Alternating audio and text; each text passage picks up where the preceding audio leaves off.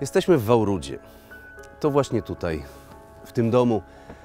y, W 1898 roku urodziła się błogosławiona Karolina Kuskówna, która swoim życiem uczy nas, czym jest dar męstwa.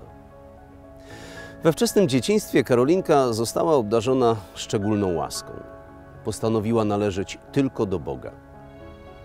I w swoim sercu przeżywała nieustanną radość. Była normalną, zdolną, sympatyczną dziewczyną, chętnie się uczyła, miała bardzo dobre stopnie. I od najmłodszych lat czuła się apostołką Jezusa.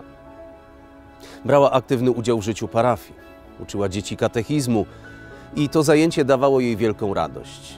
Tutaj niedaleko, pod gruszą, z gromadką dzieci, którym pożyczała książki, objaśniała tajemnice świętej wiary katolickiej, uczyła ich różnych modlitw. Najbardziej ulubioną modlitwą Karoliny był różaniec.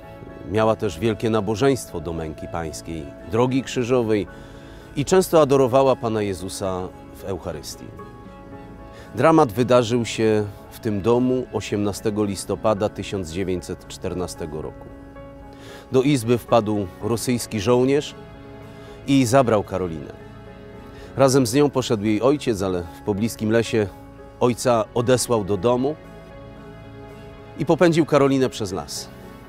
Uciekała i została zamordowana. Nie zawahała się za cenę życia bronić swojej godności, swojej czystości. Wiedziała, że lepiej jest zginąć niż stracić niewinność. Miała tylko 16 lat, a wykazała się wielkim bohaterstwem duchowym. To właśnie dar męstwa pozwolił Karolinie na taką heroiczną postawę obrony własnej godności. To jest niezwykłe, jak taka zwyczajna, prosta dziewczyna wiedziała, co jest w życiu najważniejsze. Miała tylko 16 lat, a odwagę wielkiego herosa. To właśnie dar męstwa pozwolił Karolinie zachować czyste serce i obronić swoją godność, godność dziecka Bożego. Błogosławiona Karolina jest patronką ruchu czystych serc. To tysiące dziewcząt i chłopców, którzy pragną doświadczyć radości czystej miłości. Pragną uczyć się od niej pięknej i odpowiedzialnej miłości i trwać w czystości aż do ślubu.